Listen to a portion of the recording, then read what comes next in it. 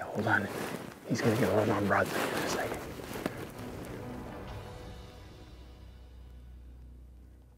Got it.